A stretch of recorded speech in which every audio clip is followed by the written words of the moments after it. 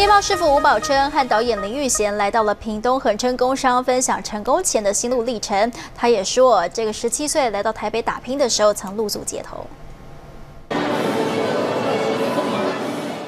恒春工商的同学手里都拿着同一本书，排起长长的队伍，等着索取签名。但挤到前头一看，怎么并肩而坐的是不同领域的知名人物——面包师傅吴宝春和导演林玉贤。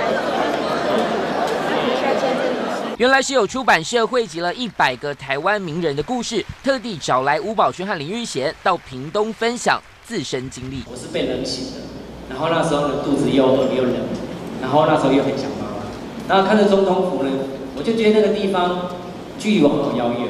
十七岁就到台北打拼，还曾经露宿街头。吴宝春用爱面包的精神，成功踏进曾经遥不可及的总统府。但对一个电影导演来说，最困难的就是要抛开尊严，四处要钱。丹姐就说：“你们是来干嘛？是来要钱还是什么？”我们说：“的确是来要钱。”然后不到三分钟，有一张支票就直接送过来。然后我的那个流氓制片，一个大男人拿着那个支票，眼泪就流下来。